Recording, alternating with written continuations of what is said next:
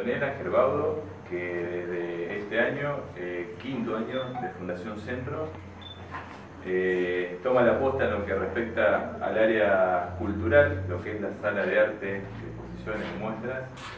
Eh, quiero agradecer además de Antonella al resto de, la gente que colabora y forma parte de Fundación Centro, porque más allá de haber hecho un beneficio y juntar unos pesitos, bueno, la, la intención fue poner en valor y recuperar un poco la, la sala.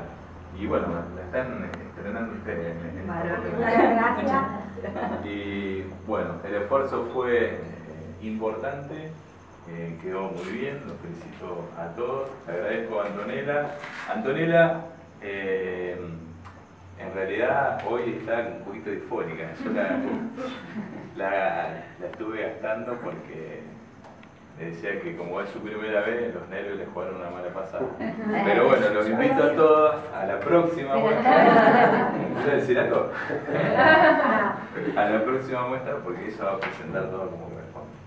Eh, deseo la palabra a Marta, Mónica, Mónica, Marta para que nos cuenten eh, sobre la muestra, por qué se denomina Entre el cielo y la tierra, eh, la técnica que utilizaron, los materiales, Bueno, muchas gracias. Gracias.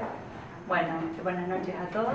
Eh, como dijo Bruno, gracias por haber eh, venido de acá. No es fácil que la gente asista a salas de arte, a ver pinturas, eh, así que es valorable que ustedes estén hoy aquí.